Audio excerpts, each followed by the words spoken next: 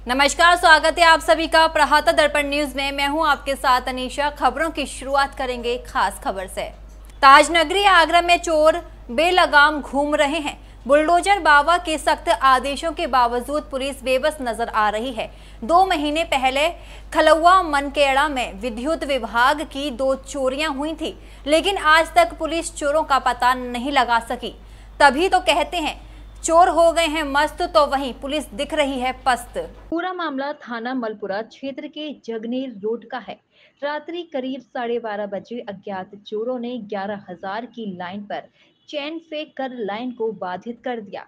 उसके बाद रस्सी डालकर दो विद्युत पोलों को तोड़ दिया और करीब तीन चार बिजली के तारों के बंडल बना लिए, जिनकी कीमत तकरीबन 80 से नब्बे हज़ार के बीच रही होगी। आपको बता दें, लाइन कटने से छह गाँव पूर्ण रूप से अंधेरे में डूब गए हैं। तो वहीं लाइन बार बार ट्रिप होने पर विद्युत विभाग में हड़कंप मच गया। जेई विनय कुमार ने कर्मचारियों को लाइन चेक करने के लिए भेजा। लाइन को चेक करते हुए जब कर्मचारी पहुँचे तो वहाँ का मंजर देख सभी के होश उड़ गए और तुरंत उन्होंने अपने आला अधिकारियों को जानकारी दी। जेई विनय कुमार ने बताया कि घटना का संज्ञान लेते हुए थाना मलपुरा प्रभारी अजय कुमार को अवगत कराया। और वह पुलिस बल के साथ घटना स्थल पर पहुँच गए। तो वहीं पुलिस अपनी खोजबीन में जुट गई। ये करीब रात्र साढ़े बारह बजे की बात है। बिजली घर पर दो बार मशीन ट्रिप हुई है। उसके बाद एस एस ने ट्राई लगाई है, ट्राई लगी, लाइन लगी नहीं है। फिर मुझे फ़ोन करके अवगत कराया है कि, सर, लाइन नहीं लग रही है। तो मैंने लाइन मैनों को फ़ोन करके बताया कि, चेक करके लाइन की पेट्रोलिंग करें।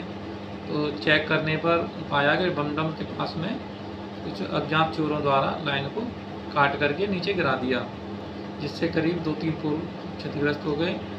तो लाइन स्टाफ तत्काल लाइन पर पहुँचने की वजह से चोर वहाँ से भाग निकल गए और तार को चोरी करके नहीं ले जा सके वहीं डालकर फेंक गए।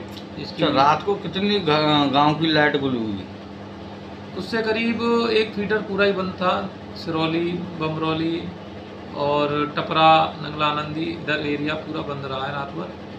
और जिसकी हमने तहरीर भी दे दी है चोरी, अज्ञात चोरों के खिलाफ। मौके पर ही पुलिस पहुँच गई थी, उन्होंने निरीक्षण कर लिया है। और अभी काम चल, चालू है, अब शीघ्र ही थोड़ी देर में सप्लाई शुरू हो जाएगी। थाना प्रभारी अजय कुमार ने बताया विद्युत विभाग की चतुराई और पुलिस टीम की तत्परता से चोर तारों के बंडलों को वहीं छोड़कर भाग निकले। पुलिस जाँच कर रही है। तहरीर के आधार पर मुकदमा लिख अग्रिम कार्रवाई की जाएगी। आगरा देहात से प्रहाता दर्पण न्यूज़ के लिए कन्हैया लाल दुबे की खास रिपोर्ट।